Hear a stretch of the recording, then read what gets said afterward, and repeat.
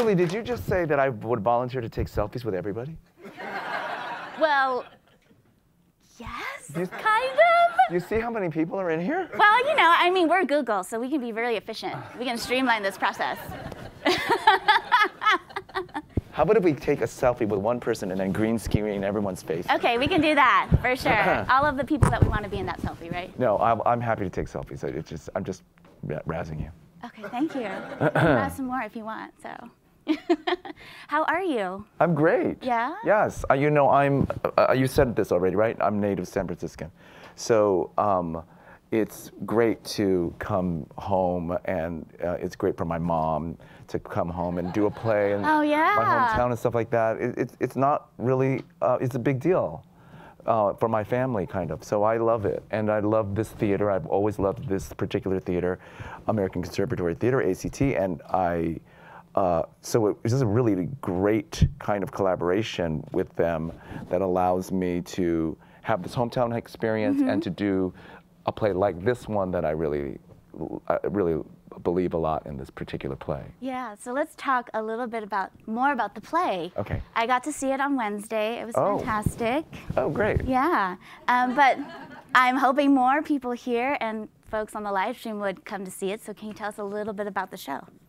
Uh, yes. Well, Lauren, uh, Lauren Yee is the playwright. Lauren Yee is also a native San Franciscan. Yes. If you know anything, I mean, there was a big article about her in the Pink section on Sunday, um, but very briefly, she really writes a lot from her own experience and her own family, and has written two plays, in fact, that are inspired in one way or another by her father. This particular play is inspired by the fact that her father played basketball in Chinatown in the early 70s and was on a basketball team of kids from China, San Francisco Chinatown that went to China to play exhibition games uh, throughout China. And so she's written a play about a young, um, very enthusiastic um, Asian American boy uh, in high school who um, like wills his way onto the team to go play in China um, and kind of have this kind of what's it like for an Asian American kid to go to China experience. Um, and the, there's a lot more to the play, and there, a lot more is revealed in the play. But um, the, the play also centers around the relationship between two basketball coaches, a Chinese basketball coach and an American basketball coach, and I play the Chinese basketball coach. So that's it, basically. Okay, basically. Um, yeah. and, and also kind of i- in its identity, it's it's a, it's a comedy with a really strong emotional undercurrent, which is very rare in plays to me. I find the most successful plays plays that are are successfully funny and move you at the same time. Uh, uh, did you find it that way? I did, yes. And I find that Lauren's work in particular, she just did King of the Yees at SF Playhouse, which is also another story about Larry. Yes. Um, but I really like her work because she does straddle humor and touching some soft points about family relationships, which I think is really heartwarming about her Yeah, work. she's really skilled in that. And the extra added, I mean, I really, I'm here to sell tickets, right? Of course, but Please, but but, please but I really do really sincerely recommend this experience. Uh, of seeing this play in San Francisco, Mm-hmm. and also you, it's too late to see King of Yees at, at San Francisco Playhouse, but I would definitely have recommended that. And when I went to see it, uh, uh, King of the Yees, Yes. I sat there thinking, how was this play ever done anywhere but in San Francisco? The resonance was so strong. The the the, the places that she mentions, the, the the locations, the things that we all know, or that many of us know, and you know that we draw from our own childhood and experiences, are um, are really uh, strong, and they're much stronger. You know, this play has been done. King of the Yees and The Great Leap have been done all over the country. Yes. But there's something really special about seeing San Francisco productions about it. They're going to be rare. It's not. It's a rare opportunity, but the one thing that I think you might have noticed is that the audience is kind of like they just get such a kick out of Yeah. hearing about things that they know, mm-hmm. and that's not an experience you can have that often. And I think one of the things that a regional theater does when it's being successful is kind of connecting to the community in a way that this play, a local playwright and a local actor can help them do. Yes, I would agree. And it's even more special when the audience can really relate and s- visually see the locations. I mean, in The Great Leap, it's USF, it's Chinatown, Galileo High School is also Yeah. mentioned.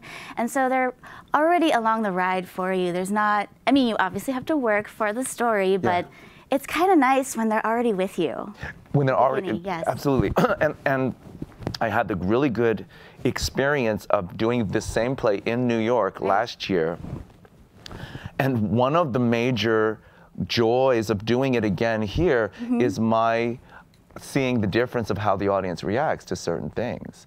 And I, I love the way the San Francisco audience um, responds to the San Francisco-ness of the play. It's, it's, you can feel it and you can hear it and it's, it's really exciting. There's a line in the play where the the American basketball coach is telling the kid, you know, I, I played in I I went to China and I and I coached the Chinese basketball players and they don't want to like you know rough each other up and they don't want to they don't want to touch each other. That's, I'm paraphrasing, but that's what he says. and the kid says, uh, "Have you ever been to Chinatown?" and that line is a very perfectly funny line in New York City, but in San Francisco, the audience just loves it. They just love knowing that the playwright really knows what Yes. Pushy Chinese people in, in Chinatown on, on the 30 Stockton are like. So true. So, Yeah. so true. Uh, and you mentioned you did this play in New York, and so this Uh-huh. is the second time around. What is it like to play the character for the second time? It's great. I um, the, the, the whenever you do a play in a different theater, it's going to be different. But this is uh even more so different than that because the, it's a completely different theater company that did the play. It was a completely different director and different actors. So I'm the real only kind of consistent thing in it. So and the, um, the other big difference is that the theater was very small in, in New York. Yes, it was a that's what I heard. 99 seat theater. And this is an 1,100 seat theater. And just technique wise and um, uh, physically, it's a completely different production. It's a big set. A, this, this version is much more like a Broadway show Right. than the one we did in New York, where Broadway is. So that experience is really um, a learning experience for somebody like me because you're always surprised at the new things that you can discover when, when the play is opened up in a much bigger way. Right. Lots of things like like there's I have more costumes in this production than I had in the first production, and and usually you'd think uh, the play, the storytelling of the play requires certain characters to wear certain costumes at certain times. And that's true, but I was able to, because the theater was so small, wear the same thing throughout the entire play. And it worked really well because that character was consistent Right. throughout from 1971 to 1989. This time, because it's so opened up and big, when I walk off the stage and I come back on again and it's a different time period, you kind of want to see me Yeah, dressed you wanna see differently. And so I, I was really kind of thrown off at first. Thought, oh, I'm going to wear all these, like the first day they show you all the sketches and stuff. And I was really surprised at that. And then I, my mind had to click over to, oh, I see, I, I see this differently now. And that is an example of a lot of different things that have happened, the, the way you use your voice and all of that stuff, um, that, that are adjustments and, and learning experiences. How has it been just performing for some of the early audiences? I saw it during a dress rehearsal, so I know that was Oh, yeah. the first time Yeah. you were up. Uh, well, um, the, a play like this with a lot of fast language and a lot of, um, of, you know, one at least one of the four characters in the play that has a lot of movement um, and, and a lot of staging, and then there's physical elements in the production like moving scenery and stuff like that. These things take such time to iron out, mm-hmm. and so there's never been such a thing as a, as a perfectly brilliant dress rehearsal because you're still working things out. You can never be that ahead of schedule that by the time the audience comes, it's all down. Yeah. You're still your mind is always processing things. So we did a pretty clean skate on on um, that dress rehearsal, but the show has definitely deepened and deepened and deepened, and we've done it maybe six or seven times now, and it's it's almost it's pretty much hit its stride as far as the command that we have over it. Right. And it's like practicing anything, right? Over and over again. The more you do it, the better it gets. And and and with this kind of play, which is kind of deep and kind of full of lots of details and stuff, Yeah. it's it, it's a kind of a, um, a, a bottomless well. You know, you don't you don't ever get bored of it because there's always something new to discover Yeah. about it. That's the beauty of, of theater and Yeah. live production. Yeah, and good plays and plays that are written with a kind of substance. especially when you're in love with the play too. Yeah, I, you have I do do it all the time. I, I, I do, and, I, and this particular play is one of the uh, one of my favorite plays that I've ever been able to do. I, I, I love doing it. I could keep doing it forever. I understand why actors like Carol Channing and Yul Brynner played parts forever and ever. I used to think they were losers. I used to think, oh God, put it away, Carol. You know, you're 80 years old. Um, and she's going on tour with another tour of Hello Dolly. She maybe did seven, and Yul Brynner seven or eight tours of, of but when that part sings for you, you want to keep doing it, and you know what you're giving the audience, and they're loving it. There's no way that you're going to give that up. No. So I don't see myself continuing to do this play until I'm 80. But I understand. I understand the joy that one gets from that. Yeah. Yeah, I mean, you could certainly do it because it I has could, that yeah. age Yes, progression, does, yeah. and you certainly don't age at all. So, Yes. Okay. what I really walked away with from the play was that it's about manifesting destiny and Mm-hmm. you know there's two characters um, and one is able to just kind of move through the world and say yes everything is on my plate and i can grab it. Think that's Manford and for your character it's more or less like waiting for the opportunity to be told like it's now your time. And there's a line at the end where he and i'm going to paraphrase as well but like basically saying that you know i didn't know that it was my time but now it's my time I can, Uh-huh. it's always been there Yeah. and I'm wondering how that parallels with your successful career that you've had. Oh wow. I never made a par- I never thought to parallel it that particularly personally. I have always considered him someone that I needed to learn about because he being um, um, uh, a a citizen of communist China, Yeah. you know, the, the, what was built into that life, as particularly at this in this time period, was a life of giving yourself, giving over your own wishes to the wishes of the party, and not um, making choices for yourself. And what's a nice juxtaposition in the play is that this this this balls to the wall Asian American Yeah. kid who doesn't know anything about that just wants and and you know is is going after his his dream. Yes. And um, in in comparison, this other character in China is um, giving up all of his dreams because he, he there's no there's no alternative for him because of the political circumstances that he is in personally, I, I, I guess what I could say is that when I was in high school, I was just so lucky to have had a very mentorial relationship with a high school drama teacher who recognized potential in me and who absolutely demanded that I uh, follow it or that I d- not squander it to the point where she like took me by the hand to my own parents and said, you know, I really think this person needs to uh, keep doing this. Wow. And my parents were rather typical Asian American second generation parents. They weren't super, super, super, they weren't tiger parents. They were more, though, um, conditioned and uh, uh, uh, assumed that the best thing for us would be successful and stable careers. Doctor or lawyer, that was it. Right. That was it Yes.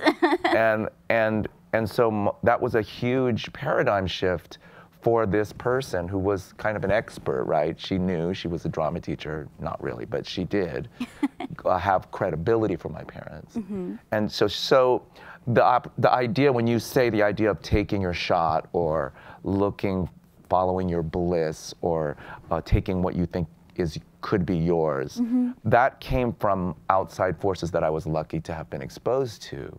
Um, and I guess I do relate emotionally at the end of the play to someone who isn't able to do that. Yeah. And, and the, the, the, the the whatever the complicated feelings that one has not having to have that restriction, mm-hmm. the guilt you might feel, mm-hmm. survivor's guilt kind of thing, or it, what if it were me? You know, you know, really, we're all here just because we're here. We're, we don't get a choice to be communist Chinese or not communist Chinese. You know, and, and in this particular play, it really shows that you don't have a choice. Yes. And and so I don't, you know, I think we all kind of take for granted our freedom and our ability to do whatever we want and to say whatever we want. Mm-hmm. Um, and the play kind of um, very, very uh, beautifully kind of reminds us of that. And I do like that part about the play. So I do relate to the character's inability to um, access his dreams um, based upon my ability to access my dreams, I guess. Yes. It's interesting because um, a lot of times, you know, even like if we take the context out of the play of just being maybe an emerging artist of color or part of the LGBTQ community, which you have been a huge advocate for both, um, I think it's quite difficult when we are going out to pursue those kinds of artistic dreams, whether it be in acting, dance, or even here in tech, if you don't see a role model, it's hard to really think about can I go out and like grab hold of those dreams? And it was great that you mentioned your high school mentor, but you know, as someone who may not have that, what is some advice that you would? Well, I, I, I maybe uh, uh, advice. I have tons of advice. but, before I give advice, I think it's in, and it is important to acknowledge that phenomenon of um, of representation. You know, we ah, we're at the, in this point now where we're talking about representation all the time, Yeah. and it, it doesn't lose its meaning. But but what what I love to talk about what is absolutely essential about that representation is the influence that that representation has over younger people. Yes. Right, and that what we're really fighting for.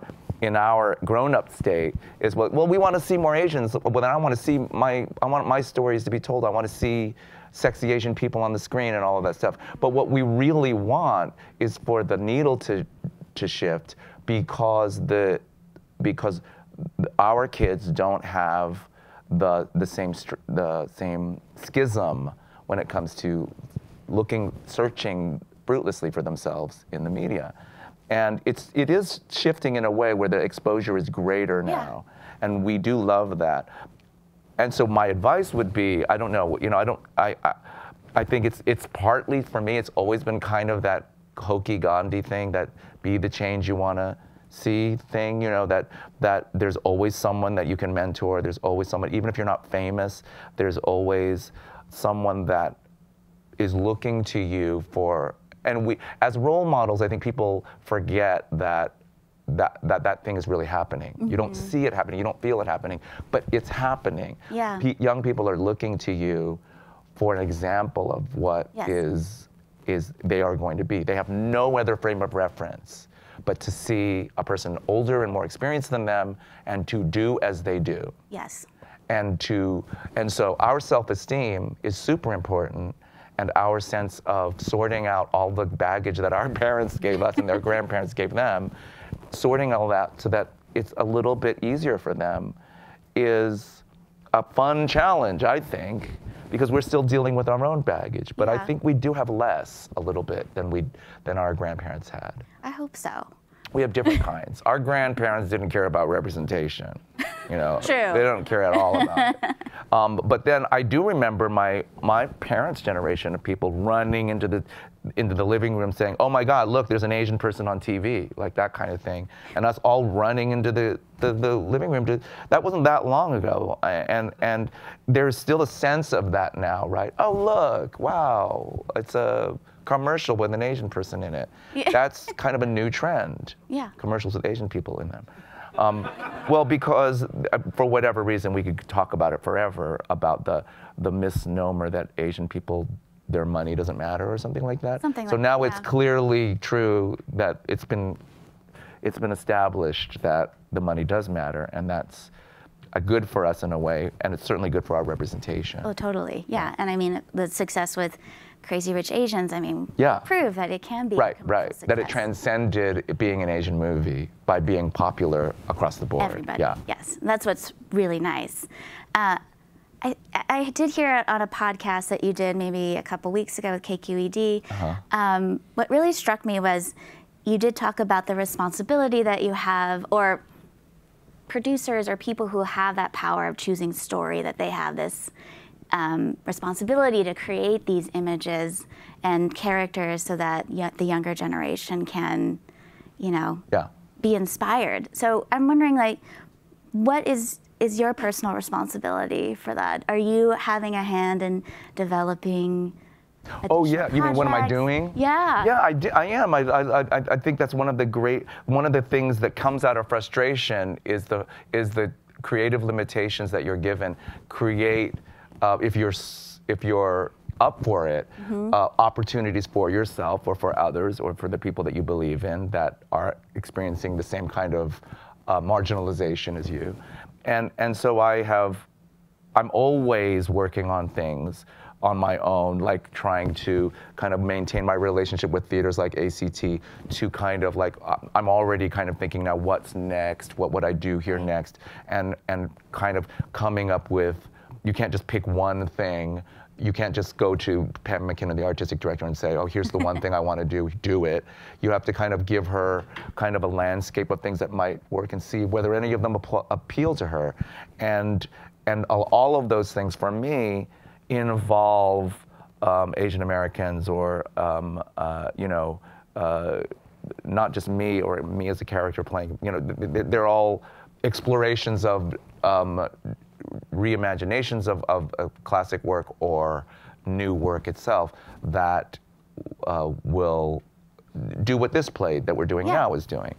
Um, you know, when I talk about producers, I'm not exactly sure exactly what I said that time, but or don't remember exactly, but but I do feel that there's this phenomenon that we're all kind of well aware of that's very frustrating that we don't know what to do about it. And that is that thing is that unless it affects you, you often don't want to do anything about something.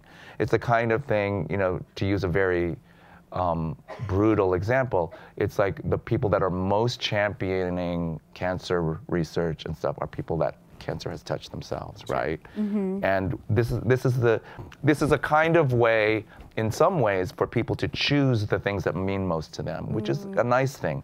However, when it comes to Hollywood, the, the issue of diversity doesn't ring true for a lot of people, and that, it kind of defines white privilege. What mm-hmm. white, what we like to throw around this term white privilege, because a person has no sense of what that damage or what that pain or what that exclusion feels like.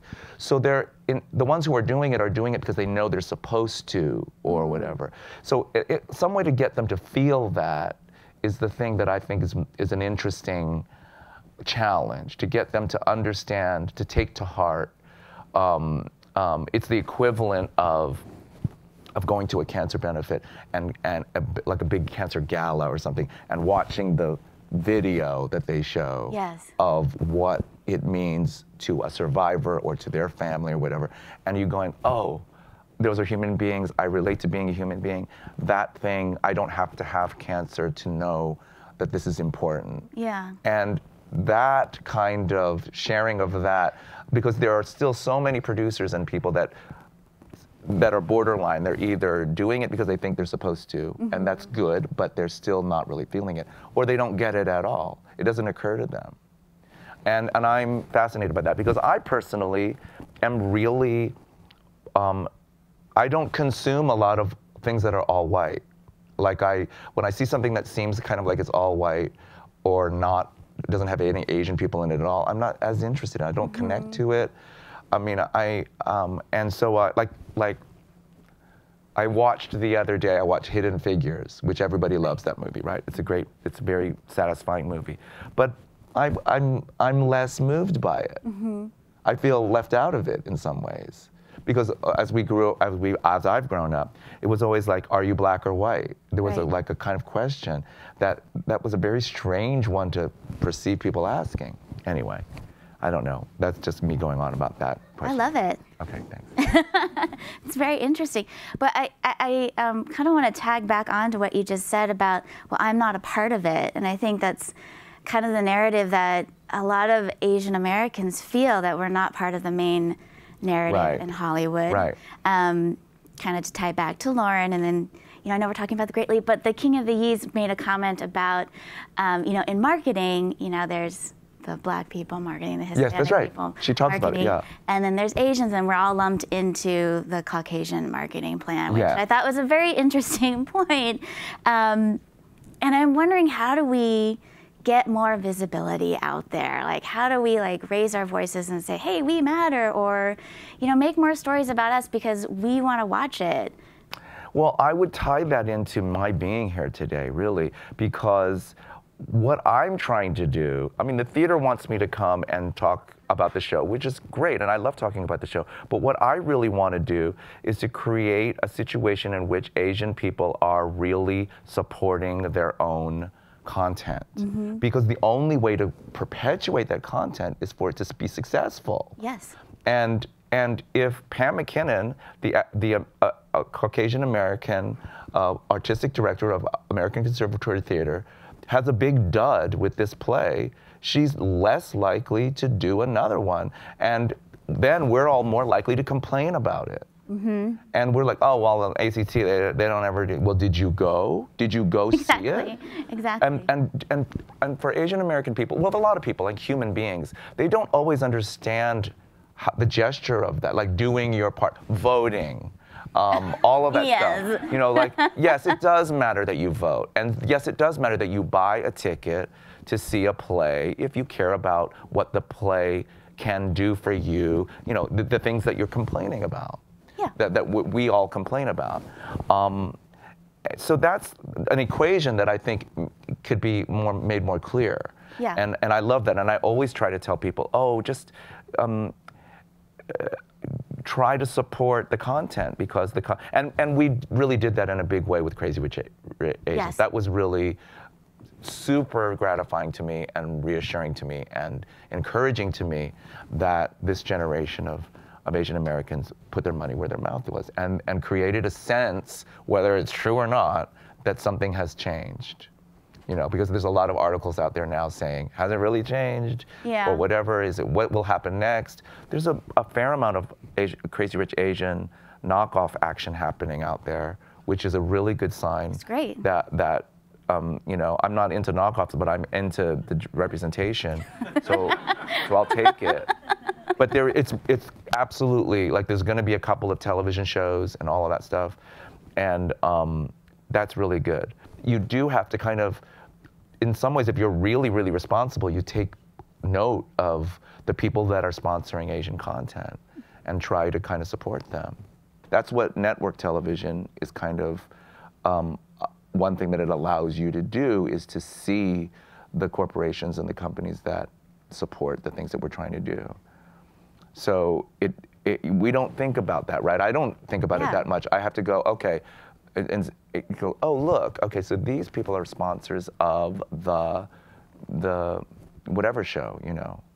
I don't know, whatever it is. You know, I'm doing this Comedy Central show with Awkwafina That's in the summer, and and I'm can't wait to see who who buys ad time on that show. Okay, last question. Uh huh. I'd love to know what your mom thinks about all of this. Because moms are important. Yes, because we are at the Asian Affinity Google group, aren't we? We are, Um, and mommies are important. You know, really, I have to say, I, st- I consider my mother way more than I should in various everyday decisions, like buying underwear stuff. I, I'm just so, it's so deeply ingrained to, to me to please her that, that I, that I think about her to a fault, and it's not good necessarily, not necessarily good for me sometimes. um, but I do do it, and there are really positive side effects of that. And I must say that choosing this play to do it here and to do it here now, and to kind of kind of drop everything if I as much as I could to do it because the time commitment that you it takes to do a play is really intense. And that means being away from home and i have a, a teenage son and all of that stuff so choosing to do so uh, to do a play out of town was made infinitely more um, seductive or satisfying because my mom's here and because my mom is, you know, inviting uh, uh, our, my whole family, my whole gigantic, her whole family, uh, who mostly are still in the Bay Area, to come to the matinee on Sunday, this Sunday, and then to have this big party and up Oh. in stairs in the theater, and do that kind of thing, you know, because she is like a, she, there's no, there isn't one a, there isn't one prototypical uh, Chinese mom, but there are maybe four or five Yes. right? yes. And my mom is the one who do will do anything not to brag um, eh, by using bragging words. Oh. If you look closely, there's a lot of bragging going on, but it's very classy and it's very. She never says anything. She lets everyone else say nice things, and then she says. She just nods or something like that. You must be very proud.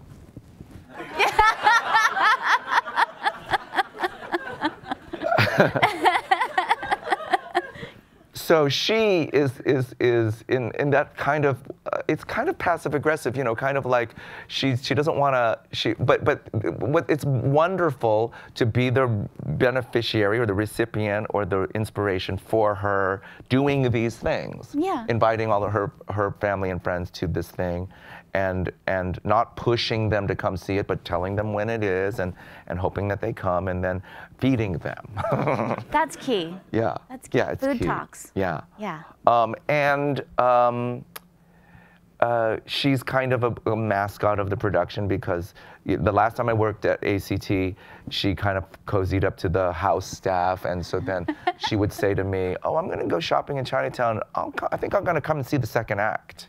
Of the play, and show up, and they'd like let her sit in the back or whatever like that. I said, you, you can't just show up. I mean, you have to like meet the person or whatever. So, she, but but she is she's tr- treated very royally, and it's very nice. It's very. She's like the. Empress Dowager.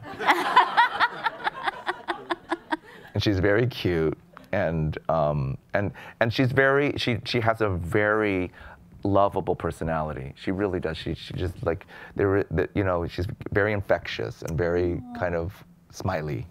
I love that. Yeah. That's great. Thank you, BD. Sure. We have our first question over here. Okay, you're on. Hey, BD. Hey. Um, I'm also, I noticed that you're a native San Franciscan. I know we've talked a lot of serious topics, but we wanted to talk about something fun. Julie mentioned food talks. Uh huh. and, um, you know, I'm always curious about when actors kind of come home, at least back to San Francisco, or actresses, you know, what's your, what's your go-to? What is the one thing when you come back here that you need to have that kind of connects you back with your childhood Mm. and some of these good, joyous memories? Uh, uh, Capital Restaurant, Clay Street, chicken wings. Oh. They're famous chicken wings, and they're, I mean, like, I, I'm, I'm almost kind of like, you almost kind of want to not tell people about them because you, you want them for yourself. Um, but that comes to mind immediately. My family is obsessed with the House of Prime Rib on Van Ness. obsessed with it. And we go there, we like, I mean, at the like, opening of an envelope, we will go there. It's it's like we, we we- we'll go there for any occasion. We'll we'll make up some special occasion to go there. and um, uh, like uh, so we do the high slot prime rib whenever we can. We just did it a couple weeks ago. Um, let's see what else is there. Uh, Sunset Bakery Char Siu Bao's. Um, that's on like 9th Avenue in Irving um, or Judah. And um, let's see, what else? Let's see. I'm going through all of my ethnic groups Mexican.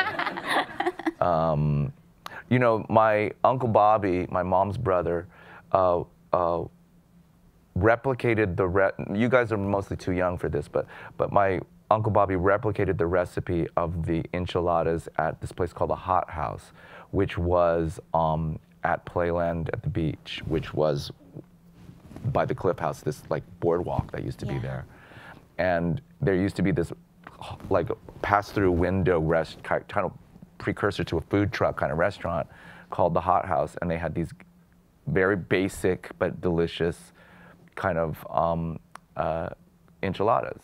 that came in a little cardboard tray, and he my so my uncle has kept that recipe alive, um, and makes that a big batch of this this enchilada gravy that they they made, and so that's a childhood memory of going to the hot house at the beach because I grew up on 40th and Ortega, um, really close to the beach.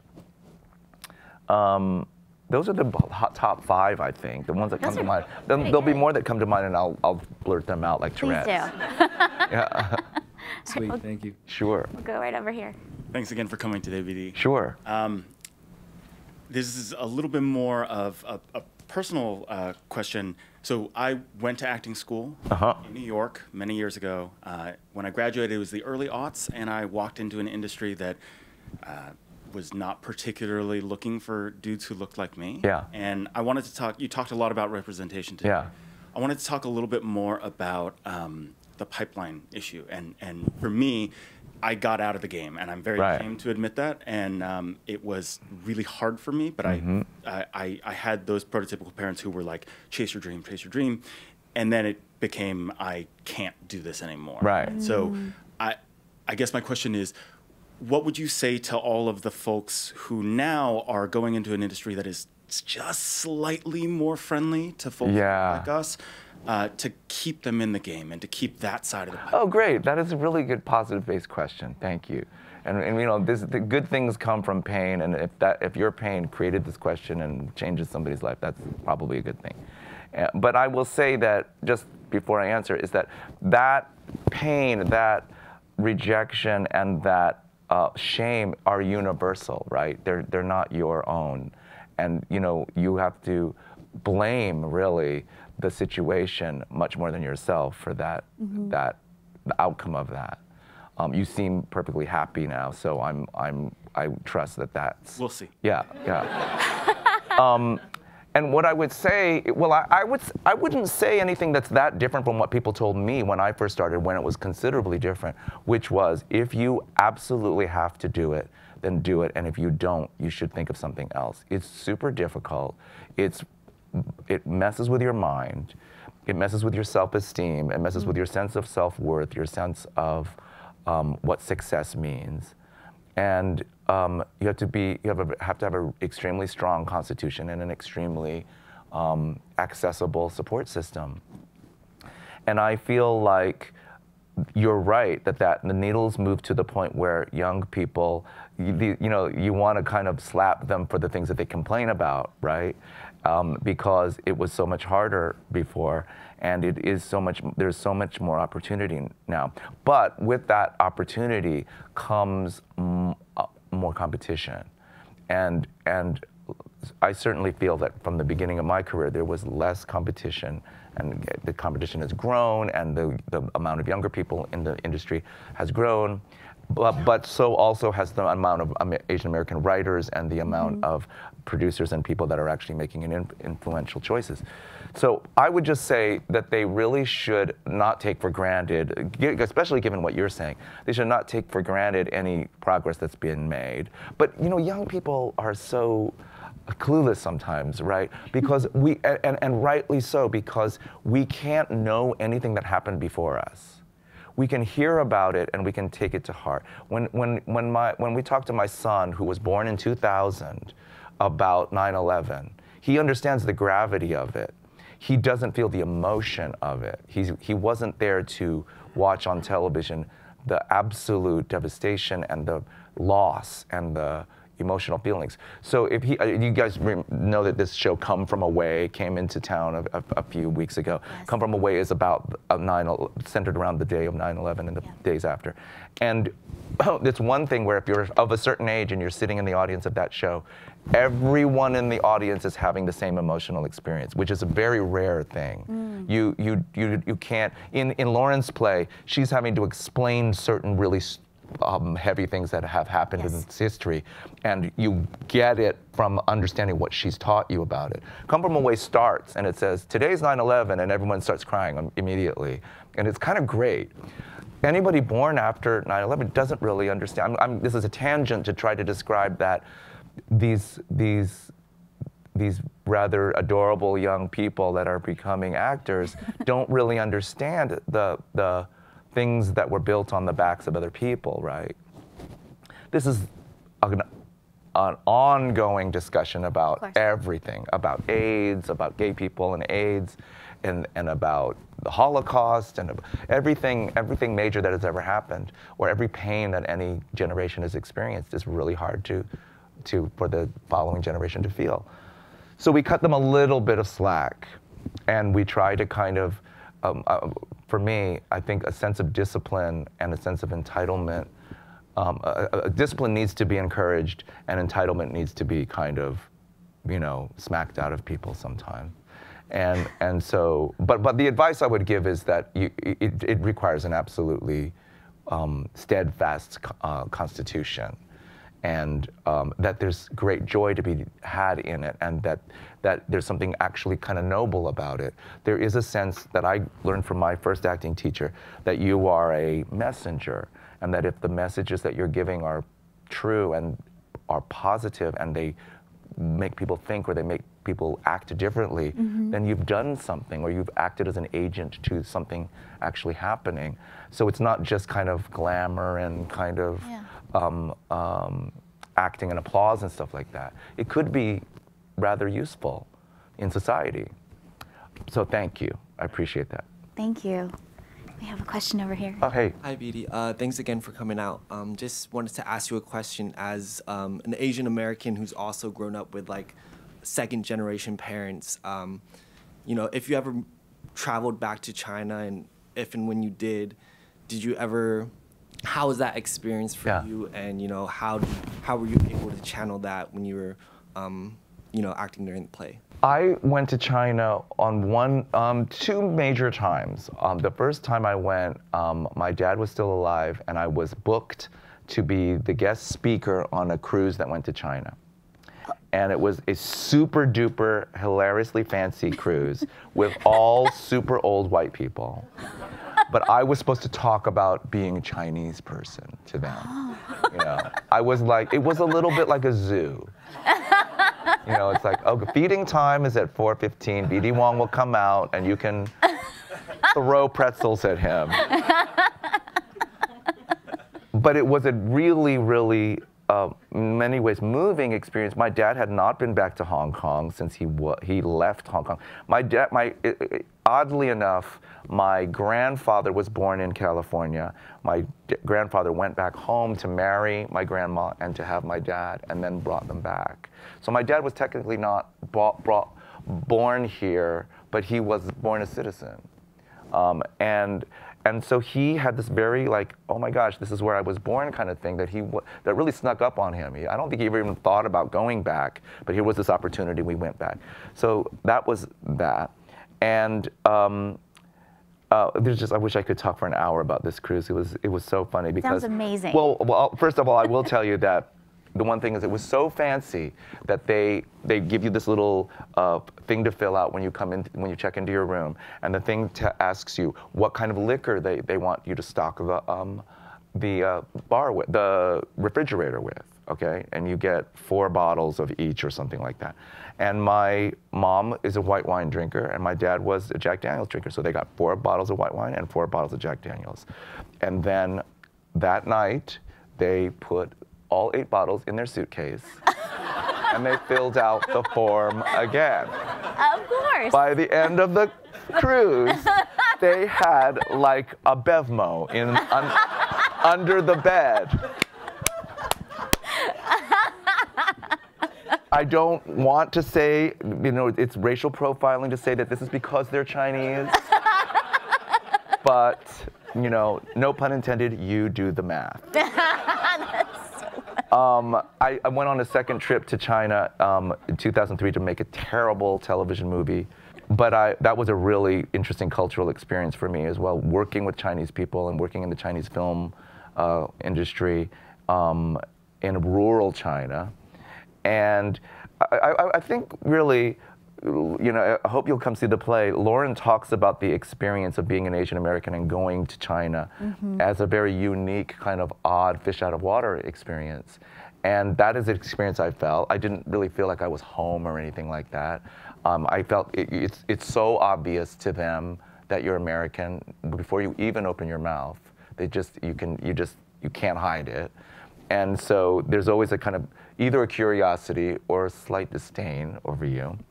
And and so I felt that tension and that was no different than the, the way that the, uh, the, the, the, the young woman in the play describes it in, in, in Lauren's play. So apparently Lauren understands that kind of Yes. experience too. It's pretty common. Um, did I answer the question? Not really. You did, or kind of. You said good things, but you did not answer the question. But we learned about the BevMo. What, what was, the, what was the, the, the specific question? I can answer it now. I guess. Oh, how did I draw on it for the pl- in the play? Well, I would say that. Um, uh, how did I draw on it for the play? I did re- really related to Lauren's words about being an Asian American going to China, and I think what I had to do, uh, uh, really, the research about how shut down a, a Chinese person who's um, not a not a dream seeker, you know, a, a person who is a, of a certain constitution, who is a party member of the, uh, you know, a member of the party, and very obedient and very diligent. Yep. What they're that is a very different kind of person than me, and and so I did have to kind of access whatever else I feel in my life that shuts me down or uh, quiets me or keeps me from making decisions. And I do, do relate to feeling like when I, uh, like a younger man being closeted and feeling kind of restricted by my sense of being closeted and a sense of not being able to be free and open and, and, and speak my own truth. So that's the thing I would relate to, I think, more than going to China, actually. Thank you. Sure. Thank you. I'm just going back and forth because it makes sense. Awesome. Um, so I think a lot about inequity. It's a very heavy topic. um, Yes. but I think a lot about inequity. Um, and one thing I've been thinking a lot about is the importance of um, Asian Americans needing to leverage their privilege in order to stand in deep solidarity with other communities of color, so Black and Brown communities. And I know obviously there's a nuance in various industries. You know, I think the tech industry we're highly represented here, Yeah. um, and that looks different in other places. But I wanted to hear a little bit more from you around how you think about um, Asian Americans building that solidarity with, with other communities of color in the entertainment industry and, and what you see happening on that front. It's a, such a wide-reaching, far-reaching industry, right? You have Hollywood, and here we are. I'm working at a, in a regional theater, and the regional theater has its own agenda and aspirations for community building and for community fundraising and all of that stuff. And they're different, I think. The the the, the wider um, Hollywood industry is driven by a kind of bottom line kind of thing that makes it really hard for um, this, these, this needle to shift. And I don't know if actually this this might be a similar kind of tangent, but what what your question is reminding me of is my own um, baggage about fundraising. Like for example, when I'm I'm pushing up the mountain several of my own projects. I've co-written a musical uh, that I'm trying to, uh, to to to continue to develop, and I have say uh, several uh, uh, several other projects, a lot of theater projects, and I find myself. Uh, um, one of them is one that our friend is, has been involved in, who uh, mutual friend, who, which is a very diverse cast of, of actors, and other uh, projects are Asian American projects, and I find myself trying to edit myself when it comes to whose money I'm going after. Like I, I, I found like, oh, you can't ask an Asian American person to help me fund the diverse project. You should really be getting the Asian American person to fund the Asian American project. But I think, well, wait a second though, but I'm the Asian American making this project. Will that be enough for them to support me to mm-hmm. help move the needle in that way? Because my work as a as a writer will be uh, put on the map, and then um, I will be able to uh, have the credibility to create more and more content. And as it, as it turns out, this particular diverse project ends up having a lot of Asian people in it, yeah. but it's not an Asian project. And so, is there a kind of what I'm saying is that I perceive there to be some kind of invisible um, limit to the amount of support I can get from the Asian American community, like from Asian people that have money. I think, oh, I have to be really careful about who I ask money for and what it's for. They, they'll want me to just they'll want me to just do all Asian content, I think. And so that's interesting because I guess what I, as I'm repeating, is I'm an Asian American artist, and that's the, um, the content that I'm generating. But, but I know that doesn't really specifically answer your question. I'm also just me, and I don't really understand or know what's going on out there necessarily about the connections between different groups and how, um, you know, Ken Savage, who was up here before, um, no, was he up here yet? No, he wasn't up here yet. Ken Savage, who works at ACT and brought me here today, is um, was talking about how he, ha- he has been in this building before because he also did a Google talk with the um, uh, the Black Google Live group. BGN, yeah. B- yeah, and and so that shows you that that kind of accessing the different groups within the theater, the theater, the theater is an active thing that's happening. Um, uh, but I think you're absolutely right. That kind of solidarity is really helpful. I think everybody has their own kind of agenda and their own kind of unique challenges, and that sometimes makes things difficult, as you can imagine. Yeah. Thank you so much for the questions. Sure. We are out of time. Really? I'm- yeah, I know. It's been so much fun. So I'm sorry for those who couldn't ask the questions. Um, but BD, I just want to thank you so much for being Thanks. here today. And for those who don't know, please go watch the show. It's running at ACT Geary Stage, The Great Leap, until March 31st. So thank you again.